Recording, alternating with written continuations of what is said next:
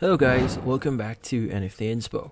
For today's video, we are going to show you why is PayPal, friends and family not showing up. So we have three reasons to discuss here why PayPal, friends and family is not showing up.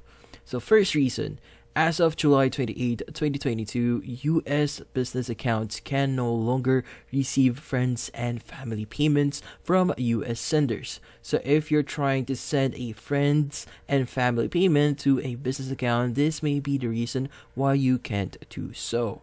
So the second reason, your account is not yet verified for you to access this feature, you'll have to have a verified account. So go ahead and verify your account first. And the final and last reason family or PayPal family and friends is not yet available in your country. So this feature is not yet available to all countries, which is unfortunate.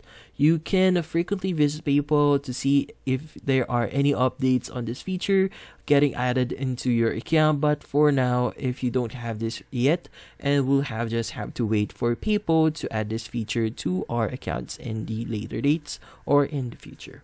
And that's about it. So hopefully this video was able to help you. Like and subscribe to NFT Inspo. Thank you for watching